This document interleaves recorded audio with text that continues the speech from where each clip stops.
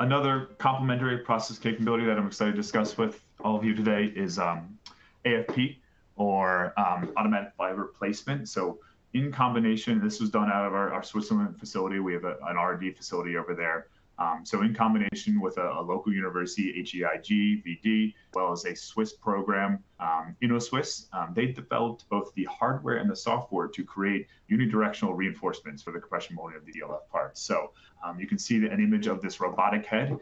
It has the capability to lay um, unidirectional tape, so the, the same tape that we're using, like an AS4 PEEK-based tape, unidirectional tape. They have the ability to do complex geometry preforms that would either go inside the tool or we can actually lay it on the exterior of the part. Um, so what we did is we started off, you know, optimizing the process. We want to understand, you know, they, they built the laser from scratch too. So they want to understand, you know, the, the optimal laser, the feeds, the times, um, the best way to apply that material onto the exterior of our already molded plate, if you will. Um, so start off with coupons, simple demonstrator elements, and then we move to three parts.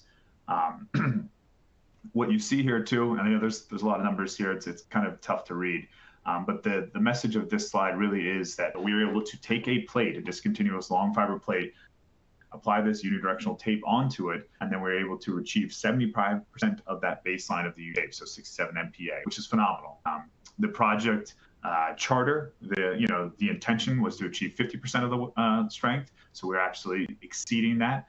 And then um, from a financial perspective, a cost perspective, we wanted to um, no long, we didn't want to increase the price by 50% either. So uh, we've succeeded in surpassing that as well. I've got a few more details on the next slide about that. Um, discussing some of the uh, the activity associated with parts themselves. So um, we chose three different demonstrator parts. Um, in addition to some of the coupons, you can see a bearing response up there in the top right-hand side. Um, but what we saw is um, we're going to be, it's not the right solution for every part, right? So it's going to be geometrically dependent. But if we take the part on the right-hand side now, the bearing loading direction, we've got a um, an insert right now for unidirectional tape as well. It goes on the outside surface of that component. We were able to increase the strength of that bearing pull out by 61%. So just pure DLF, it starts off with 17.5 kilonewtons, saw failure increase to 28.3 kilonewtons with only a volume fraction of 2.5% unidirectional tape. So again, this exceeds the targets initially set forth by the, the charter. Um, and there's honestly zero weight penalty too. We're using the same material, it's replacing it volumetrically.